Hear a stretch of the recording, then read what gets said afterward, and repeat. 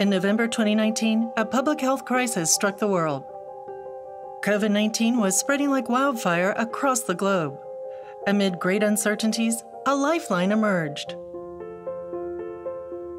The first mRNA vaccine for humans was developed in less than a year. It arrested the advance of the pandemic, and a group of dedicated scientists made this miracle possible. One notable person was Dr. Katalin Karikó, Without her, mRNA vaccines would not have been used so quickly. mRNA stands for messenger RNA. It tells cells what their tasks are, such as making proteins. Dr. Karikó and UPenn immunologist Dr. Drew Weissman developed an mRNA that can escape immune surveillance and trigger immune responses. So the body learns how to fight the virus without being exposed to it. However, this revolutionary breakthrough initially received little attention. People had been burned by RNA. It was very, RNA is very difficult to work with. He was the one, he said, listen, you know, the telephone will ring. And of course, uh, nobody called, not 2005, not 2008. Born in Hungary, Dr. Karikó later moved to America. Though she devoted her life to studying mRNA, her lab was forced to close. She was then demoted.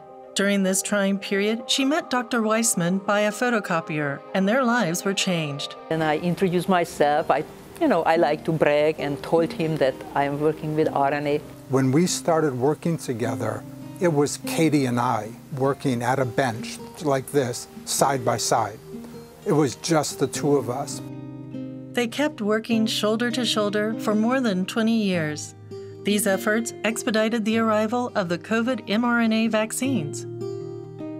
But one more key player found a way to allow mRNA to enter human cells and deliver its instructions. Dr. Pieter Cullis is a pioneer of lipid nanoparticles, which can encapsulate mRNAs that encode specific viral protein and deliver them into certain cells. When the clinical trial results were released, he was rather shocked.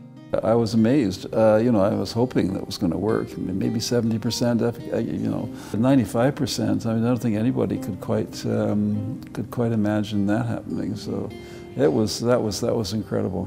For people that thought lipids were not that important, well, I think we've shown them wrong. So.